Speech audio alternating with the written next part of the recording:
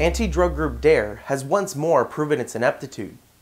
The organization that posted a satirical news article as fact on their website earlier this year has now accidentally published an article supporting cannabis legalization.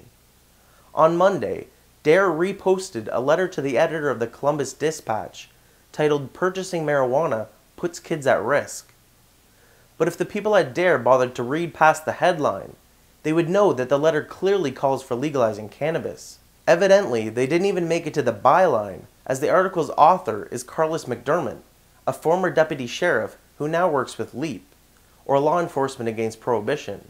In the letter, McDermott argues that cannabis prohibition makes the plant more accessible to children. Quote, I know from enforcing senseless marijuana laws that children are only being put in more danger when marijuana is kept illegal. The goal of prohibiting marijuana was to eradicate its use, but in reality, the drug has become infinitely harder for law enforcement to control. She added that while cannabis can be harmful to children, anyone who suggests we outlaw everything dangerous to children would also have to ban stairs, Tylenol, bleach, forks and outlet socks, and definitely alcohol. The answer isn't prohibition and incarceration. The answer is regulation and education. After Dare posted the letter, New York Magazine called the organization's apparent change in ideology a breakthrough.